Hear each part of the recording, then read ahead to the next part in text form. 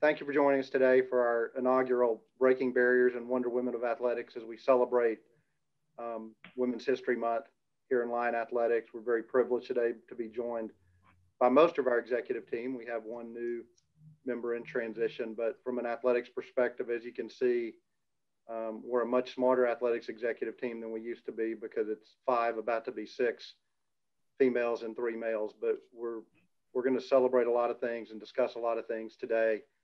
Um, and specifically, we're going to talk about breaking barriers and celebrating these Wonder Women of Athletics and how, as we see throughout our profession and throughout the country, that we hope eventually seeing women in positions of leadership and influence is not an exception, but rather more of a norm. So before we get into it a little bit, just want to thank each of you today for your time.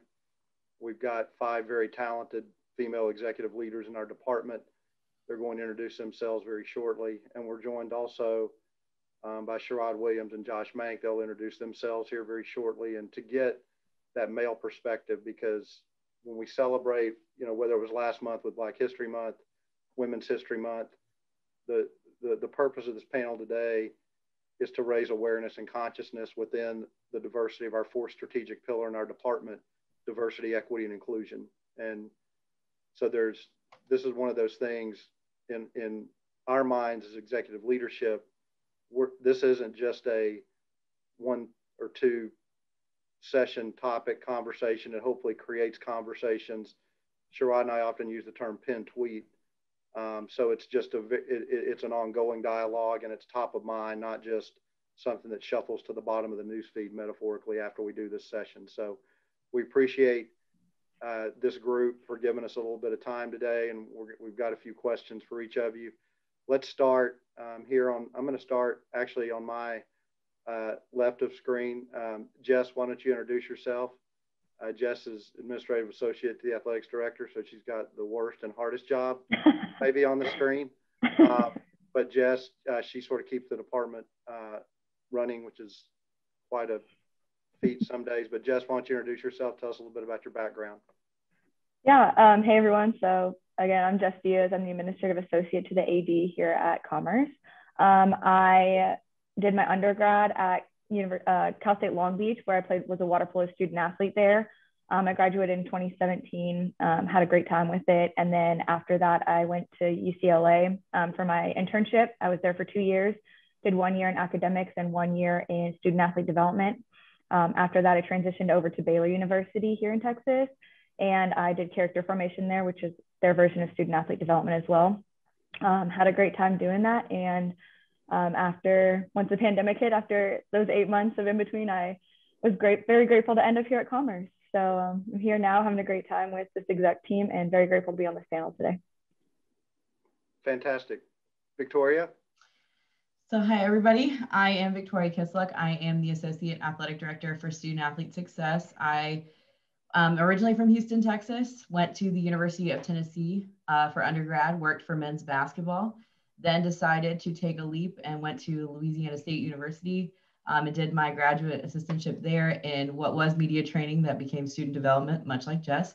Um, and then we're interned at the University of Houston in football academics. And then uh, we're almost about hit six years at Commerce. So I've been here, I've been different positions, different roles, uh, but have been here and this has become family. Thank you. Kate? Hi, everyone. I'm Kate Bruning. I'm the Associate Athletics Director for Sports Medicine. Um, I'm originally from Northwest Ohio. I went to Ashland University, another Division two school, as an undergrad. Started out as an athletic training major there, and kind of built my love for the sports medicine world connected to sports.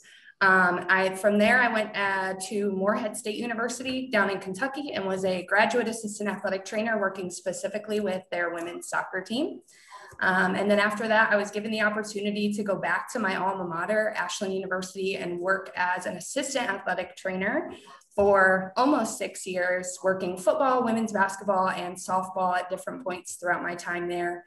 Um, and from there, I made the giant move, moved a thousand miles from home down here to Texas. Um, to continue in division two athletics specifically and work here at a&m commerce started out as senior athletic trainer uh, with football and then was able to transition um, four months into being here into being the associate AD for sports medicine. And moved to Texas in the middle of July, which I thought was the most impressive. yes. Uh, the heat's no joke. uh, Erica, Hi, I'm Erica Schilling. Um, I'm the Senior Associate AD for Championship Resources. So um, just found my passion working in college athletics in 2014 when I started um, at my alma mater, South Dakota. So that is, I'm a coyote, not a jackrabbit. Let's make that very clear. Um, and, you know, much like Kate, um, moved to Texas, you know, after some stops down the central time zone, Kansas State, Baylor, and couldn't be happier to be in the Texas heat, honestly, especially um, after that snowstorm this winter. So won't bring that back up. um, but very development based, external has been my passion, just meeting with donors and um, kind of tying back those relationships to the university and doing what I can to um, create some excitement um, around sports programs and then, you know, really allow donors to to uh, give passionately and find areas where they can help and enhance the student athlete well-being. Excellent, thanks. Karen. Hi, I'm uh, Karen Allen, Senior Associate AD for Business and Administration and Senior Woman Administrator. Um, I've been in commerce for almost three years now, um, and during that time, kind of seen a lot of growth for myself personally. Um, prior to coming here, I was the associate AD um, for business and communications as well as senior woman administrator at um, Shorter University in Rome, Georgia, which is also um, my two-time alma mater, both of my degrees from there. And really in that time at Shorter was given the opportunity to see um, what it meant to work in college athletics and what, you know, what opportunities there really are for for not only women in, in, in this industry, but also just anyone in this industry. Kind of grew up as a, a sports fan, but really thought I'd work in professional sports. Um, kind of that was my my goal. Um, wanted to go to work every day at Turner Field um, of, you know, for the Braves, um, and really saw what it means to work in college athletics um, in my almost eight years at Shorter and now three years here, and really the time in college athletics has really um, translated into my view, translated my view of how women in sports um, can be successful, but also how it has um, you know shaped my um, my learning and, and different things and being an athletics administrator, but also being a female athletics administrator. Terrific, thanks. Sherrod. Yes, I'm Sherrod Williams, Associate AD for Operations and Competitive Excellence. I've been here at Commerce for going on two years, about a year and a half now. Um, went to Coker College, it's Coker University now, got both of my degrees there. Um, and really, you know, just been working in college athletics ever since. Was fortunate enough to work under Lynn Griffin, Dr. Lynn Griffin, who's still there an amazing mentor and learn from her as well as other great women in the industry. And they've really been, you know, a lot of the best mentors and friends in this industry for me um, along the way with character development as well as learning the ropes from the external space, which is, you know, not always common, but I've been fortunate enough to learn from amazing women. And I'm just here to celebrate the women on our athletic, on our executive team, as well as in our actual athletic department as well and you know just here to amplify the voices of the amazing women that uh, are here. Great Sherrod thank you. And last and certainly not least josh floor is yours. Uh, hi i'm josh mank. I am the senior associate ad for strategic communications. Um, and i have an atypical path to get where i've gotten. I have i never had any intention to work in college athletics until i uh, snuck into an internship in the year 2006 which makes me higher up the uh, age bracket than most of the people on this call. Uh, I was an intern uh, for communications at Newberry College in South Carolina, a Division two school, and was supposed to be there for nine months. And I thought I'd get out and go into the media space again. And then I stayed there for 10 years. Uh, and now I've been at A&M Commerce for five years now and worked my way up to senior associate AD uh, just through skill set, chance, and luck. Uh, a little bit of hard work here and there, depending on the day. Um, but uh, couldn't be happier to have taken the path I have. Um, I think I bring a different perspective than a lot of people because I still think at any have that little voice in my head that at any moment that I won't be able to work in college athletics. I don't know why. That's just my personality. Uh, but so I, I, think I like to try and bring a different perspective and uh, happy to be on this. Josh is a true communications professional. He went with most of the people on the call instead of saying just one. So. I also deal in statistics and facts a lot of times. yeah.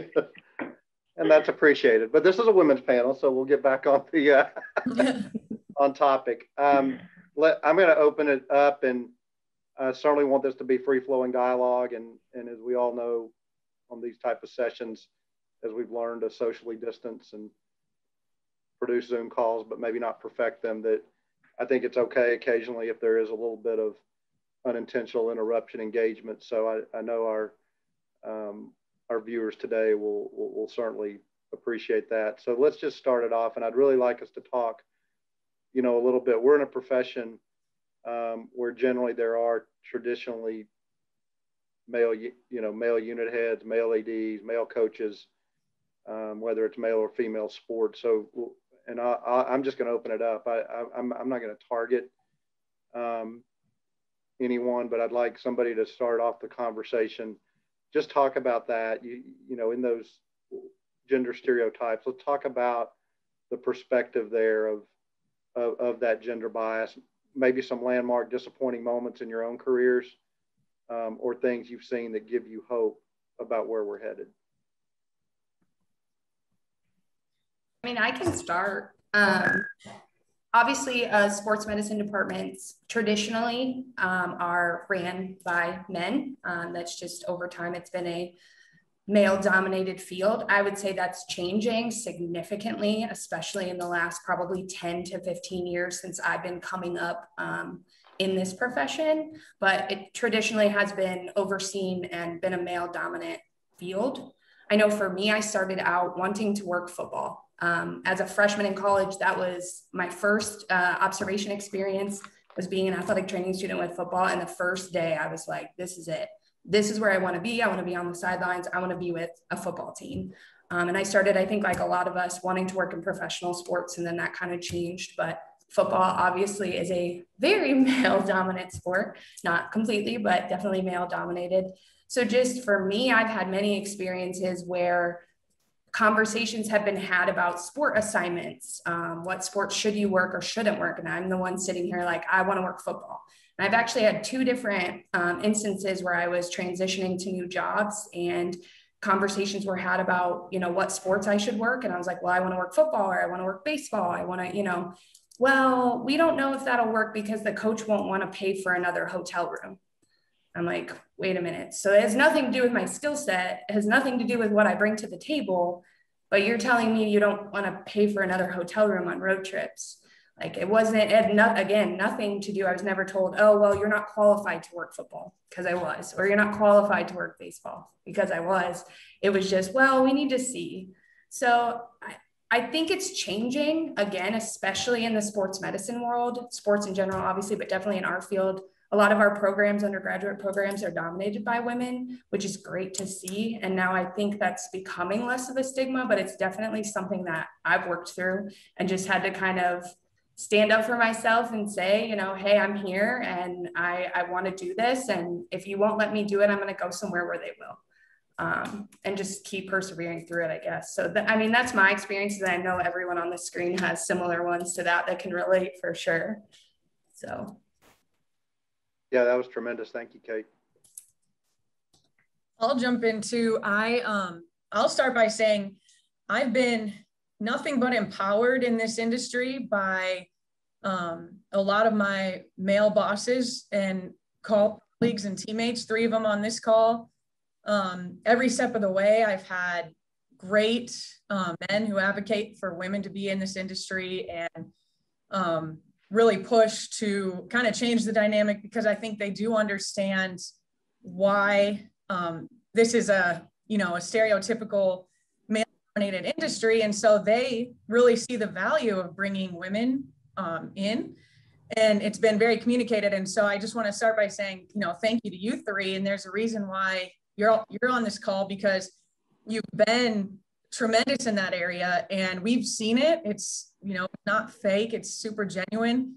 Um, a lot of the coaches here, um, and then like I said, just for me personally in my previous stops, but it's a little different for me on the, I think, external side because um, you just have to be really intentional about, you know, like for me, there's things that I do that I would never, you know, I would never wear or things I would never say, or um, you just have to almost, and not, not in a rude way, but you almost have to overcorrect for being the only, only female. Like there's a lot of times when I'm the only female in the room, the only female at the table, the only female in the meeting. And I know that's not specific just to Erica, um, but you really have to be, I just have some things that in my head that I'm, I'm aware of um, and very, you know, not careful, but maybe careful about how I say or what I do specifically just because of that, that I am the only, the only girl or only female in the room. And, you know, sometimes there are comments and we've gotten away from them, but, you know, there are a lot of comments where it's like, well, you can hold your own even though we're all males and it's like, yeah, no, no kidding. I can, that's why I'm here. I mean, that shouldn't, that shouldn't shock anyone. Right. And so, um, just some of like, just to on your question a little bit on some of the disappointments, some of those comments like you know if i am the only one at the table and i do things really you know fast um, assertive i talk fast walk fast and sometimes that can come off as bossy. And you know a lot of times you'll get the reaction like whoa whoa whoa chill out. Like it's okay you know and it's like well i just reacted the same way you reacted but no one told you to calm down you know? And so just going away i think from that like an overreaction. There's a lot of times where I feel like I've been the calmest at the table or the calmest in the room, but it's but if I'm a girl and I overreact, you know, a certain way, it's like, well, she's dramatic or she's crabby or she's bossy. Like, no, no, no, it's it's not that. It's I'm just, you know, bringing my opinion out and um, speaking my, you know, verbiage on it as well. So, my favorite is the she's aggressive. Yeah. Like, no, I'm just I'm trying to get my job done and do the best thing I can feel you on that, Erica. and I'll take it a little differently. So when I was leaving high school, my parents said, You can go anywhere, you can do anything. And I'm like, All right, you tell me I can't do something, I'm going to try it anyway. And my mom was like, Okay, well, we'll see where you go, we'll see where you go. I worked for men's basketball at the time, and I'm like, I'm going to be a sports agent. Like, that was the vision. And I was like, dead set on that. And after emailing and talking to head coaches at different programs, there was an actual head coach that told me, You're a female. I will not let you be a manager for my team. And I was like, That's impossible to tell me I'm not going to do something. And it was a division one major program. And I was like, Okay, let's see what happens. So I email a head coach at what was Tennessee at the time. Bruce Pearl says, Come on down. I'll meet with you whenever you're here for your visit. A very different reaction to empowering someone than going into it the other way to say you can't do something. And even though I didn't get to letter in basketball like some of the guy managers, I was still on every photo and every book that they had, was still on the website.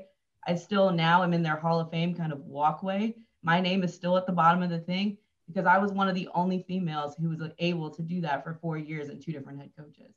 But because someone told me no at a bigger school, that didn't phase me. I was going to do the thing that I wanted to do now. Am I a sports agent? No but I learned a whole lot going through that experience. And our SID at the time was the reason that I even got into communications and what I'm doing right now.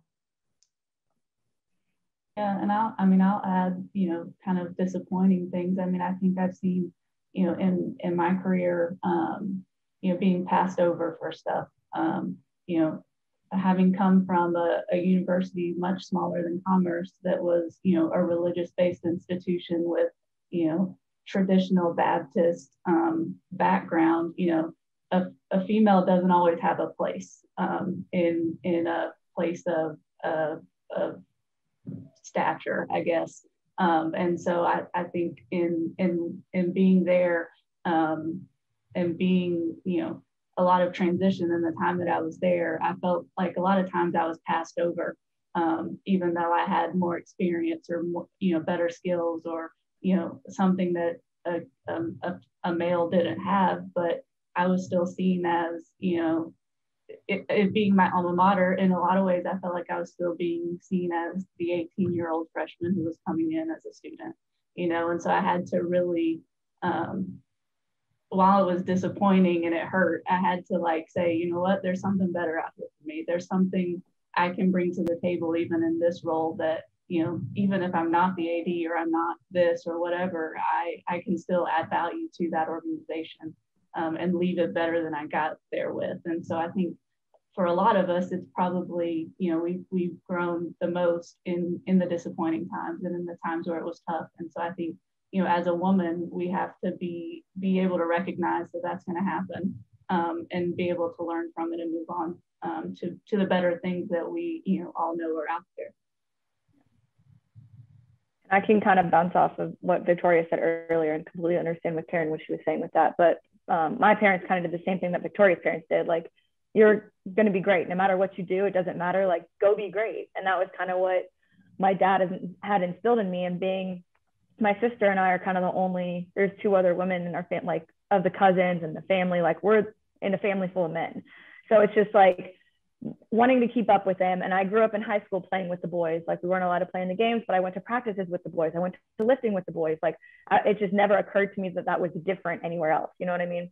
So that was something very new to me. And I guess I never really noticed that I was the only woman in the room until I started working in college athletics. And not, that wasn't a bad thing. But once I got there, I was like, okay, wow, this is a different change for me. I'm coming in as an intern, like wanting to be great and wanting to do that, but having not wanting to step on toes or anything, especially because when I was an intern, second, I was the only woman in the room.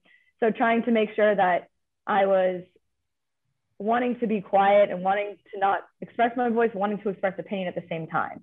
So I tried to be one, like when I went to conferences, I remember meeting with, remember being watching a panel and Lacey came up to me and was like, Hey, I remember you from this for your, your energy with it because you were the first one to speak when asked the question. You were the first one to do this. So that never occurred to me that there should be anything different. I have an opinion and I want to speak it, then I'm going to like and respectfully speak it, but still speak it, and trying not to be that loud person in the room, but at the same time bring good content to it. So um, that's kind of really my big thing with it. But I wanted to work. Uh, one of my big goals is to work in football. I want to kind of go into recruiting and try to do that, and maybe a DFO one day or something along those lines. So I think that I never really saw that as an opportunity for me until I got to Baylor. So when I was at UCLA, there wasn't a whole lot of, because I was an intern, there wasn't a whole lot of interaction with football. It was very closed off. And even looking at the coaching staff, it was all men. And I never thought, I'm like, okay, football is a men, men's world. Like, I'm just not going to be able to break into it. That's just what I thought it was. But coming to Baylor, I saw Morgan on the staff. She was the director of on campus recruiting. I saw an assistant to the head coach. I saw Erica as chief of staff up there, like working with football. So I, I was like, okay, then maybe I can step into there. So I think that's an interesting concept concept for younger women to see people re- like representing. And I never mm-hmm. understood that until recently of like, oh, you have to see your representation in roles of power that you want to get to. Because I never saw it as an option in football until I got to Baylor and saw people doing it there and saw people doing it here. So that's kind of my experience with it. And I think that's been really cool to see and be be on it now, physically be on exec team and helping with that. So yeah. Excellent. Uh, gentlemen, anything to add to those comments?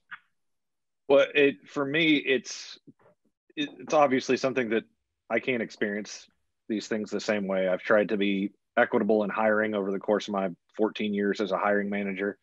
Um, I think I've only had one woman who's reported to me though over the course of that time. Part of that's been, uh, luckily, a lot of them have interviewed and gotten better jobs and so I've moved down the chain to get the man. That's that, mm-hmm. that's lucky. Uh, the one I have, who I believe she's an assistant commissioner in a D- Division One conference now, so that that looks good. Uh, but in our profession in communications, we're within athletics, we're the ones that interact with other schools on an equal basis more often, I think, than most. And so I, I, interact with a lot of people around the nation, and some of my closest friends are females in the industry and award-winning females as well, uh, who have won our Rising Star Award in, within COSIDA, which is our professional organization, which is people who have been full-time employed less than 10 years.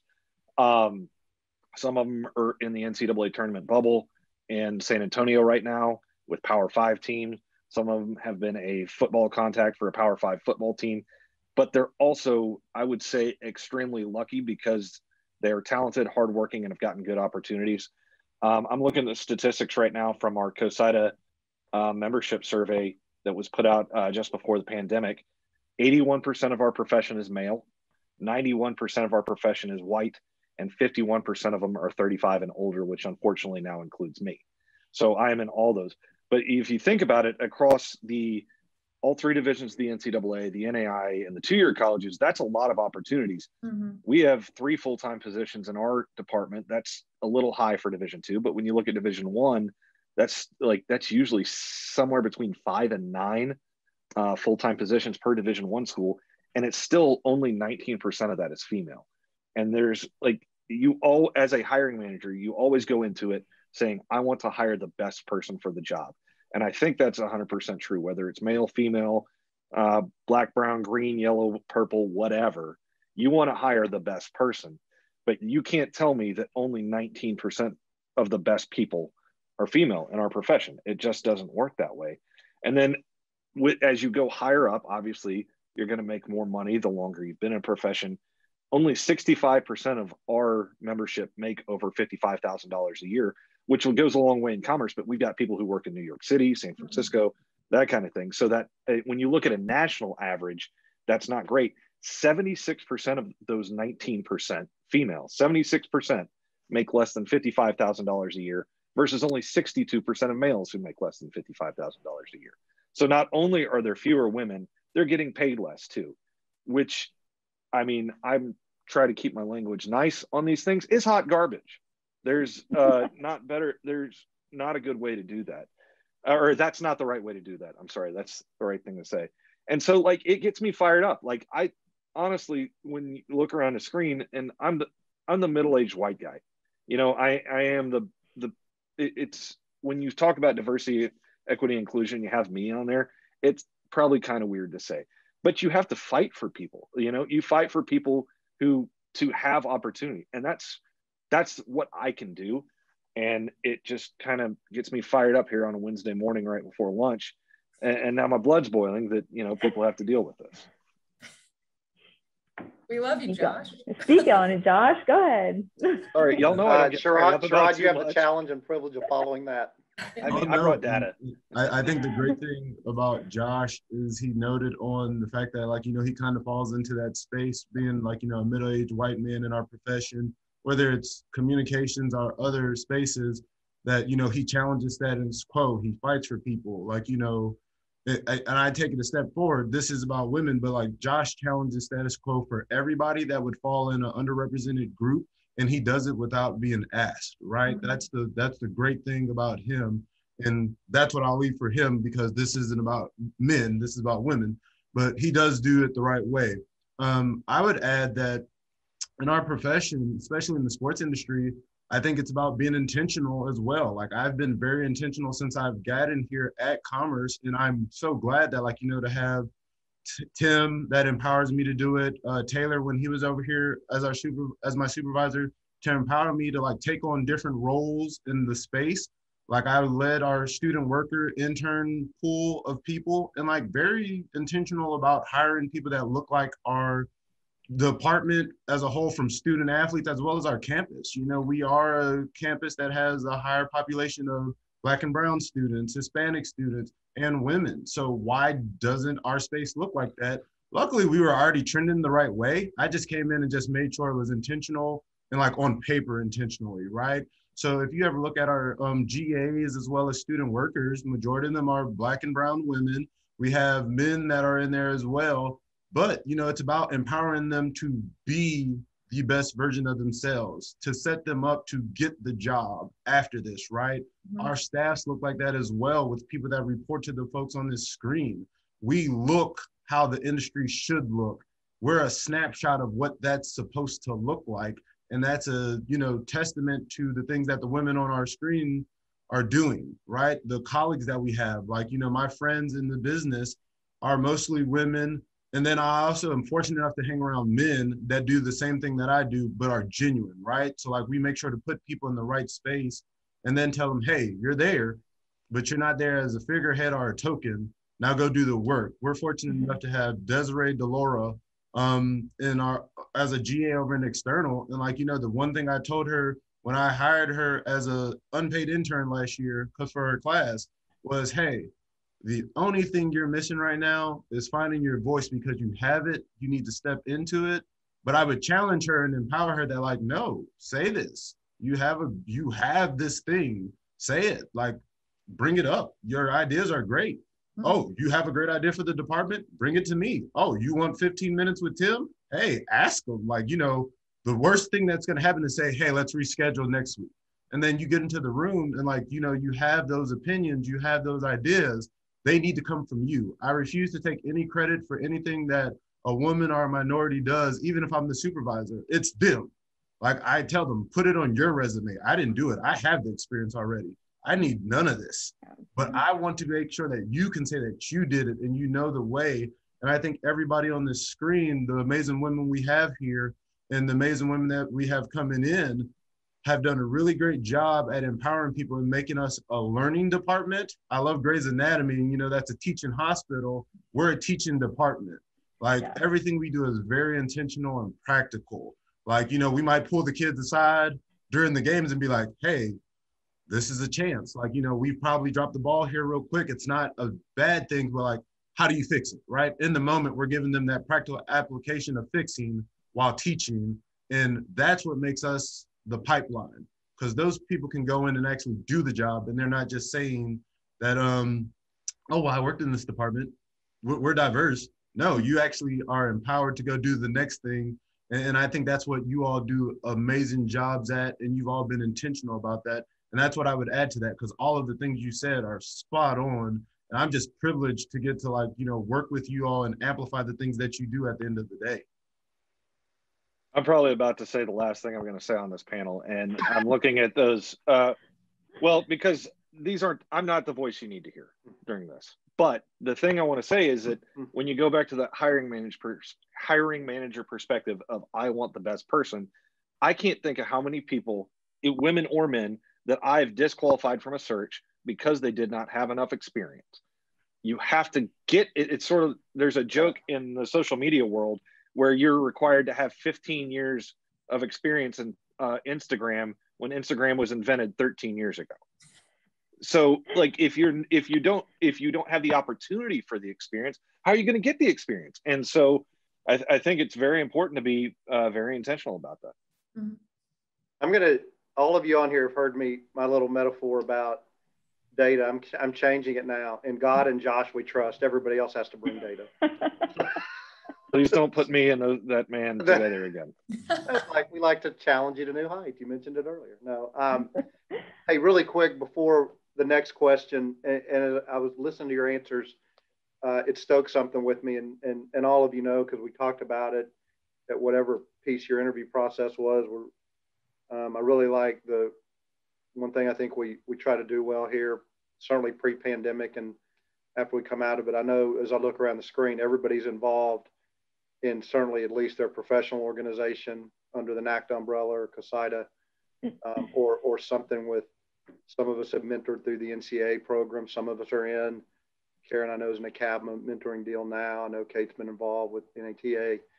Um, so one thing just for perspective to play off of what Josh just said about hiring and requirements and reality. In, in, in 2004 was my first year on the NAD committee. I got on it when I was eight years old. No kidding. Um, and, uh, you know, we're sitting there in our, at our summer meeting and the, the, and you got, you know, heads of development at the time I was at Texas State University. There's, you know, head of development at NC State, Virginia Tech, UCLA, well, and we're looking around the room and there were 14 white males. And we're like, we, we got to do something, you know, and, and it wasn't just that, but that certainly propelled because MOA was just starting at the time. Um, and, and all of us are familiar with that now because it's, it's a very prevalent professional development organization that we all utilize directly or indirectly, whether in searches or professional development. And so we created um, the NAD Women and Minority Scholarship because the, the, the big deal was, to Josh's point, well, how, how were development officers recruited at that time? Well, you know, Joe played football or basketball or played a sport. And, you know, let, let's get him in the good old boy network and get him fundraising. I, I mean, I really think um, th- there are a lot of tremendous, as we all know, there's a lot of tremendous diversity and inclusion initiatives throughout our profession. But I would encourage anyone watching this or listening to this that, you know, wants to, to be active, get involved in those professional organizations because there are opportunities for professional development scholarships and grants and those type of things. And certainly anybody else can jump in on that thought. But two or three of you said something that I was like, we've got to we've got to promote what we all are products of is that professional development piece. So um, any thoughts there or um, I mean, I think, I think I'll add, you know, um, kind of, kind of when I was, you know, growing up and thinking, you know, what kind of job I would have in life and wanting to work in sports, like I didn't know what jobs were even out there. Like I didn't know that there were there were really these kinds of jobs in an athletic department or in a professional organization. You know, you see the athletes, you see the coaches, you see you know those people that are you know on TV every night. But like, there's so many opportunities in this industry that people just don't know about. And so, um, I mean, I think it's just important for for not only you know girls to see uh, women be successful, but anyone to see anyone be successful in in you know the non high profile type jobs. Um, you know, I I didn't really know like what um, you know what kind of job I wanted. I just knew I wanted to work in this space um, and and working in you know working at Shorter and seeing you know our senior woman administrator at the time, like seeing Rachel do her job inspired me to want to do that job. You know, seeing our, our I was good, close friends with our assistant coach for the women's basketball team. And now she's not even coaching. She's like the assistant dean of, of some sort of educational department at um, the University of, of Augusta, Augusta State. I don't know exactly what its title is. I think it's changed. But, you know, seeing Christy do that job, I wanted to, you know, be like Christy. I wanted to be like Rachel. I wanted to to to be in a role that I felt would be influential, um, you know, not just because I was female, but because I had the skills to do it. And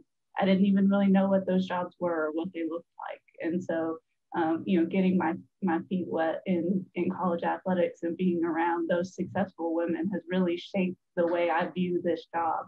Um, and then now being, you know, senior woman administrator, people say, so what does that even mean? And they assume that I'm, you know, just over the women's sports or something like that. They don't understand that, you know, yes, it might in some cases tie back to more women's initiatives, but at the same time, it's, it's a seat at the table that we didn't always have. You know, it's a seat at the table to to advocate for you know equity amongst everyone and to be you know a voice for someone who may not have a voice. And so, you know, it's a it's an empowering job to be able to be in this role to me. Excellent, thank you. Uh, I've got a two-part question, um, specifically probably more for the, the females on the panel, but certainly Sherrod and Josh, if you have thoughts, jump in. Um, and have, have, you, have, any of you ever been in a situation um, or had to overcome the stigma of being called irrational or crazy when you stood up for something that maybe you believed in or was very important to your core values? And then the second piece of the question, uh, did you, do you think your gender played into it? Um, I guess I can kind of start on this. I think a lot of times, and Erica kind of alluded to this before, we can be in a room and have maybe the same look on our face as the male across from us, but because we made that face, we have that reaction from everyone else. But I also think sometimes being a female, we're so quick to say, well, I didn't mean it that way, or I'm sorry, or maybe, excuse me, like, and we're so quick, and I said this to Erica the other day, we're so quick to say, well, I didn't really mean it that way. Well, no, I did mean it that way. And there was exactly intentionally the way I said it. So I think, yes, I've been in that situation, but it's always because a look that was given. But even if the counterpart across the table or wherever we were said the same thing, I'm like, well, wait a minute. I'm not going to apologize because they're not apologizing. There's no reason. So I think sometimes when we hear those things as a female, because we do care and we are nurturing most 99% of the time, we're so apt to say, oh, I shouldn't have reacted that way. Or I'm sorry, even if it's a disagreement between two females, we're both apt to say, oh, I didn't mean it that way. Don't get offended by, or whatever it might be. but that doesn't mean we have to apologize or we can't feel the way we feel because the person across from us feels the same way. Yeah, I completely agree with that. I think I think that I was in that conversation with Erica and Victoria, and we were talking about it, and someone someone had said something like, "Oh, sorry, I'm just being a brat right now," and we're like, "No, like we're not being a brat. Like we are being strong. This is what needs to happen. This is what we're doing. Like it's not about being a brat or being like what do we say assertive or something earlier. Like no, we're trying to get the job done, and that's what matters. Like it's not it is interesting to see those looks across the room like that. Like, and then even, I remember laughing at myself the other day of like texting someone and I put a period, like just trying to get things done versus an exclamation point. Like, it's so silly that I have to overthink those things of coming across as aggressive or assertive or whatever when I'm just trying to get stuff done. So I think that's so interesting to talk about and have those conversations around. And I think every woman, even outside of this industry, has experienced. So I just think that's super interesting. I I think Jess, you just touched on the other piece of that, not just the the looks or being accused of potentially, you know, having being aggressive or assertive or whatever you want to call it, but also us women feeling like people are thinking that because we're women.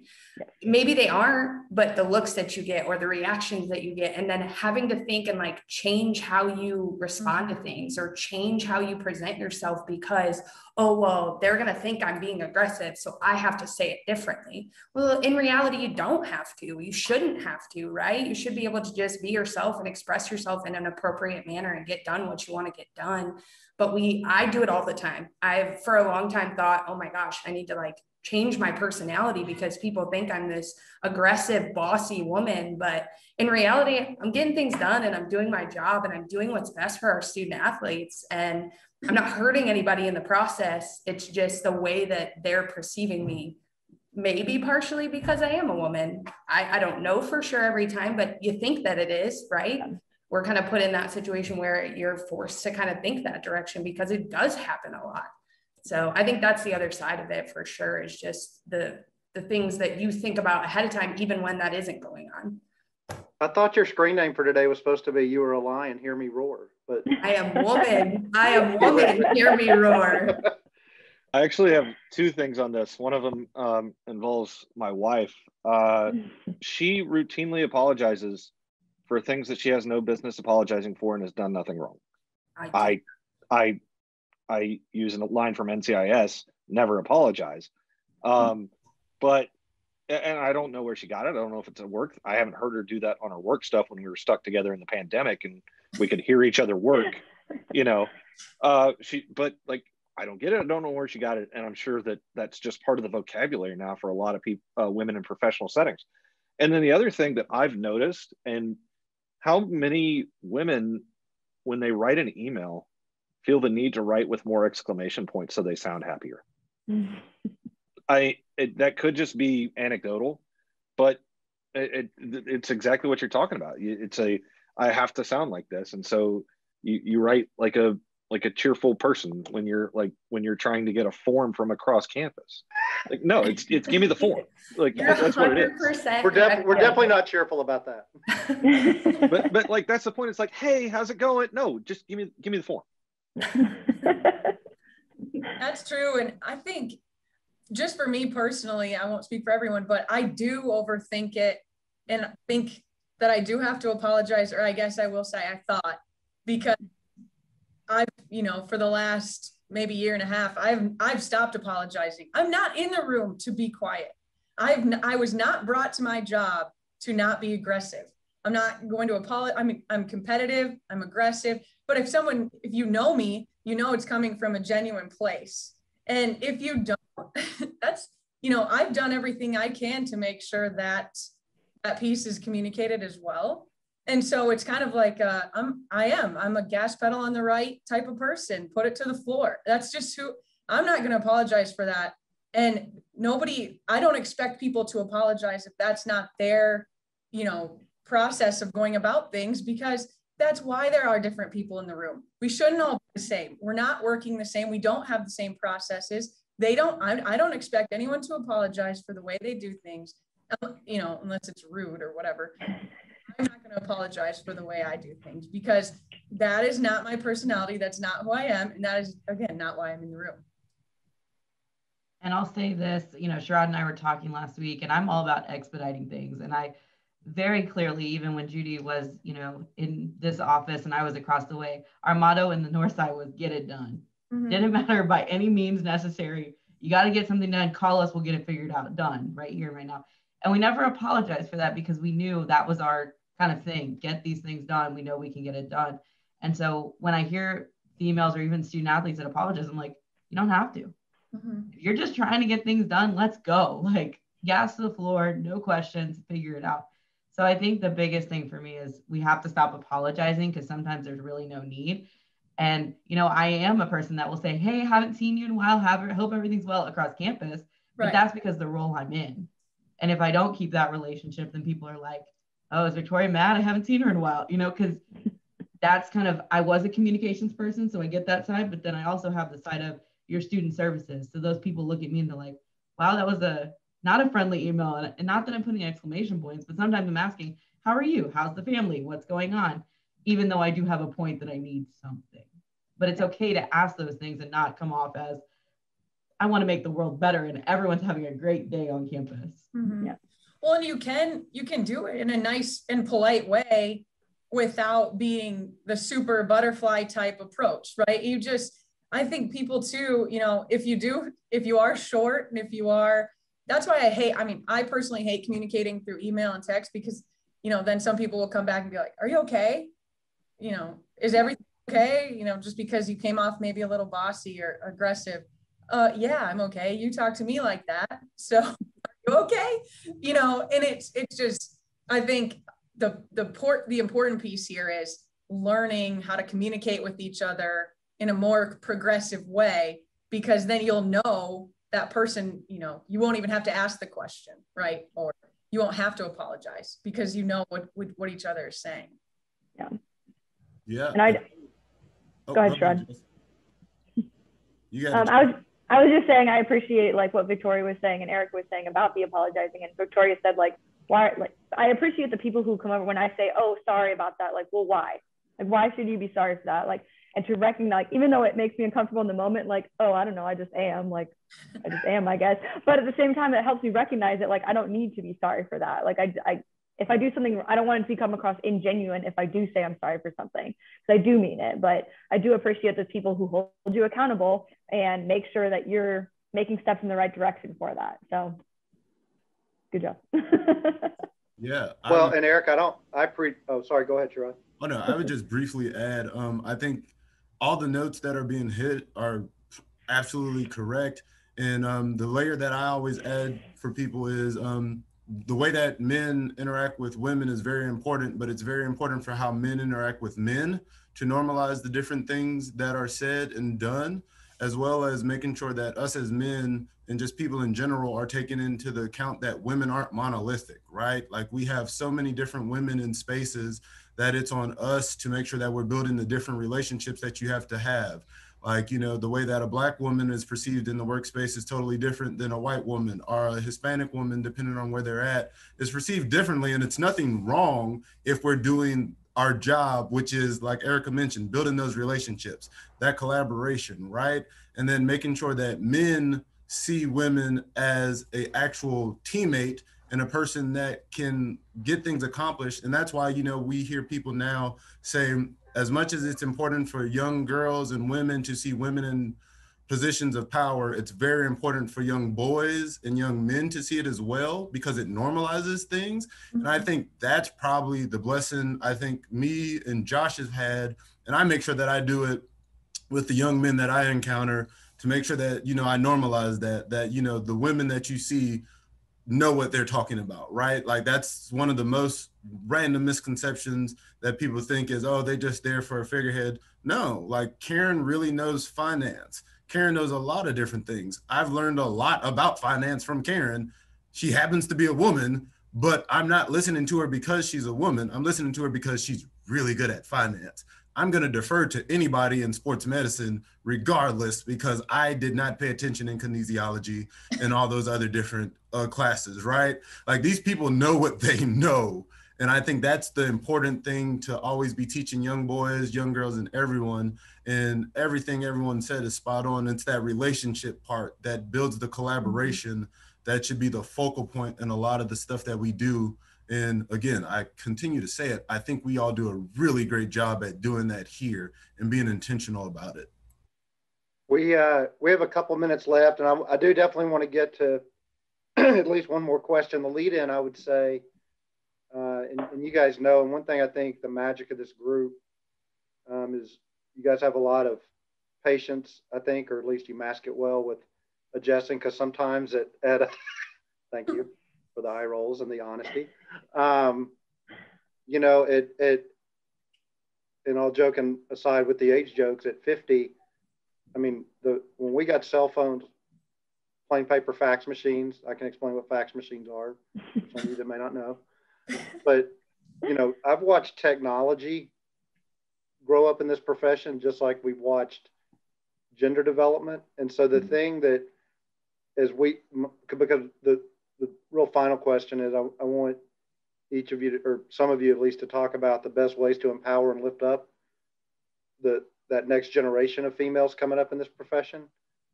Um, so I want you to think about because no matter our age, our gender, our background, all of you are going to be 50 one day.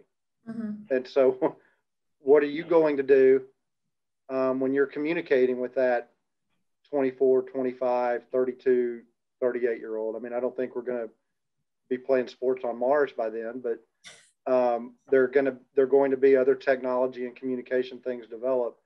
So, as female leaders in this industry or leaders in this industry, how are you going to support and, and, and pay it forward, so to speak? I mean, I can I can start. I think you know, for me, I you know, I think Tim mentioned I'm you know doing that CADMA mentorship right now, and and getting to talk. You know, my mentor is um, the CFO for the Air Force um, Athletic Association. Um, she is uh, Ashley Moggeson, and she when we talk, like she we talk like we're you know we're friends and it's you know but every time we hang up i know i've learned something. You know we we spoke earlier this week and she was kind of just talking about the you know how their structure is within their department because they have you know some people on you know the government side of things as well as their nonprofit organization and just you know the differences in that and her experience with you know moving from you know a more traditional type athletic department into that role and you know getting to to see her perspective on how how that operates has been really neat to me. Um, and then I'm you know extremely excited to do um, you know next summer start the um, D2 ADA um, mentorship. Um, and so um, I think you know those opportunities are great, but at the same time I think it's about for myself personally, you know, getting involved with the students that are here on this campus, you know, as the you know sport administrator for volleyball and softball like i really had the opportunity to to mentor those those females and and you know maybe none of them want to be in my position. Maybe maybe one of them does you know maybe there's someone who you know wants this career path and you know hopefully i'll be able to you know kind of maybe help guide them in that direction. You know i have some you know great relationships with pre, with former students from from shorter that will still call me every once in a while and just want to talk or you know they they need a reference for a job and you know for a job they're applying for. And i think it's important for us um, you know not only as women but for us to give ourselves to those opportunities to allow for those to happen and for those to um, kind of happen organically and not force them um, but be open to any and all opportunities that those might um, those might be available to us because i think it's invaluable how much we can offer to to someone in our similar situation um, down the road. I think for me, and I agree, Karen, it's just continuing to be a mentor, a leader, but um, I think normalizing, just continue the normalization of it. Um, for example, we have a new teammate coming on, and she absolutely killed the interview process. We didn't think she was the best because she was a female, we didn't think she was the best because she was a black female. She was the best. And she's on, you know, we all, that was a unanimous, I think, decision. And no one thought twice about any of her demographics, right? And we, you know, we just need to make that a normal process, like what Josh was saying. You want to hire the best people when they're on your interview, you know, when they're in your interview candidate pool. She was. We got her. We're lucky. We move forward and we continue that narrative, continue that dialogue, but we can continue to find ways. You know, Sherrod and I, we're, we're going through searches right now. And we've you know been able to empower some great people to have some interview experience and you know kind of teach and guide and learn but i think it goes back to that communication those relationships and just really being genuine. I mean it doesn't matter if you know i treat males and females the exact same way. You know i talk to them in the exact same way act this exact same way. And i don't know that that's the absolute right answer but that genuine piece that relationship piece the normalization piece you know we we move it forward and advance it i think that's kind of my initiative and the process that that i've created in my head yeah i, I, I oh go ahead kate i think just to build off of what both of you i agree with everything both karen and erica have said but for me the other piece is just be lead by example i mm-hmm. that's how i kind of live my life is i want other women to see me in this role. I want them to see me day to day, how I handle both male and female student athletes and male and female coaches, and how I work as a boss, if you will, in this department. I want them to see that, and I want them to see it can be done, and I want them to see that it can be done well, and that it doesn't matter whether I'm a male or female or whatever that mm-hmm. that it can be done and they see it day to day and it is normal and it is you know something that can be done um, my mentor was a, a, male. My mentor was a man, and he, Jeremy Hancock, Ashland University, he was the head athletic trainer and in charge of football. He is the best mentor I've ever had. And it wasn't because he treated me differently because I was a woman. He treated me the same as any other athletic training student that came to him and wanted to work in football. And he mentored me and showed me that I can do anything. It doesn't matter that I'm a, I'm a female. And there were days where I was like, I can't work in football. Jeremy, I was like, they don't want me here. You know, I, I can't make this work. And he's like, it has nothing to do with you being a girl. It has nothing to do with you being a female. You can do it. And I think Sherrod touched on that a little bit, also showing men and young men that it's okay to mentor females too. It's okay to promote the promote them moving up in the professions that you're in. No matter what, it doesn't matter who it is, as long as somebody's showing the people that want to be here that they can be here and here's how you do it. So I'm a big lead by example person for sure. I completely, completely agree with that, Kate. And I, I, what I wanted to bring up is I saw something, I told Karen about it yesterday. I saw something in, on Instagram that Alex Morgan said, and it was a quote that said, um, I don't want my daughter she goes, even though I want my daughter knowing about the first women to be in these positions, I don't want her to honestly know about them because I want it to be normal. Like I want, she's not going to grow up knowing about them because it will be a normal thing to have women in uh, positions of power, to have women represented in across all stages and across all platforms. So I thought that was a really interesting perspective of it, and I was very grateful um, to have women who were my supervisors from time from UCLA to now. Honestly, I had. Um, Corey Pinkett uh, was my supervisor at Baylor. She was very involved in women uh, women leaders. So she helped me kind of get into that area to learn and connect with women inside the platform and inside intercollegiate athletics. So I'm very grateful for that moment. And I'm grateful to be here to have Tim as my supervisor now, my direct supervisor, who empowers us to be women leaders, like to be in those positions of power. So I think those are all really interesting concepts to continue on and want to continue those um, that progression towards it. So. This has I'm, been tremendous. Sorry, go ahead. I, I, I have some serious advice for any uh, females, women who are watching this, who want to get into sports, uh, who see us around. I know a lot of people at our place think I'm just the picture guy or the mic guy, but that's not all I do. I, I know they see Victoria, she does academics, yes, but that's not all she does. People, Karen's not carrying around a bag of cash so they may not know that she's the finance person. That type of you thing. You guys know of. It, well, uh, but so I would encourage people to, if you're interested in working sports, whether it's college athletics or not, ask us questions about what we do, why we do it, how we do it. And if I'm not the right person, I think we're all committed to finding you the right person. You may not need a full-on mentor at this point, but you might need just need someone who shows you what you like to do. Mm-hmm. Part of the reason I said at the beginning that I don't have a traditional path into this job, I didn't know it existed. I probably would have loved to do this as a student, but I, I didn't know it was a thing. So ask the questions because if, for instance, you do are a female who wants to get into communications, woman, I'm sorry, woman who wants to get into communications, some of my best friends, Olivia at Syracuse, Chelsea at LSU, Katie at the Missouri Valley Conference, Megan at St. Edwards, my li- and Amanda at Jackson, uh, North Florida. That's just the top layer. I it, like it can keep going. We can get you where you want to go, but you got to ask us questions because a we're trying to do our job. B there's 400 of you. If we don't know you want to, like we can ask a lot of questions, but we still got to find out. Mm-hmm. Yeah. Great points. Yep, great points. I will apologize for getting a little loud there at the end, even though I told people not to apologize. Passion's our first core value. Nothing wrong with it. So, no need to apologize, Josh. we, no uh, need to apologize. um, ladies and gentlemen, uh, very privileged to serve alongside this executive group. I hope our student athletes, campus partners, alumni, anybody watching uh, this today, I hope you'll go to lionathletics.com, uh, look up these talented professionals on our website. Their contact information is right there.